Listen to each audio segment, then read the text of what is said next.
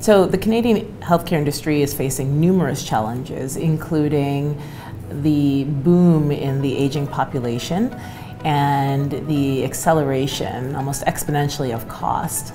So I believe we can find solutions to many of these problems through technology and through innovation. The biomedical zone is differentiated from other technology incubators in that it is a physician-led, hospital-based healthcare incubator that's also a unique partnership between Ryerson University and St. Michael's Hospital. We host a number of companies from a variety of different disciplines in the biomedical zone, ranging from information technology to devices to biotech. The biomedical zone is uh, part of a um, network of zones that we're creating uh, at Ryerson University. It's an innovation ecosystem.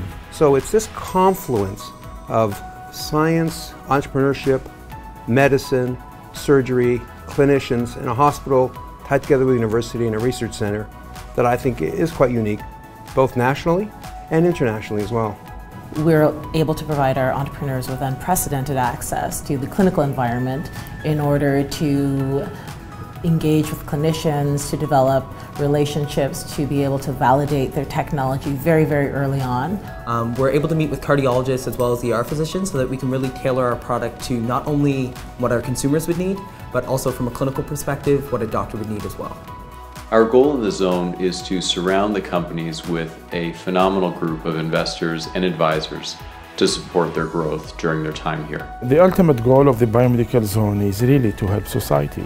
I hope the impact is that we create and help develop impactful companies that affect patient care and provide meaningful solutions and innovation that can be used throughout the world.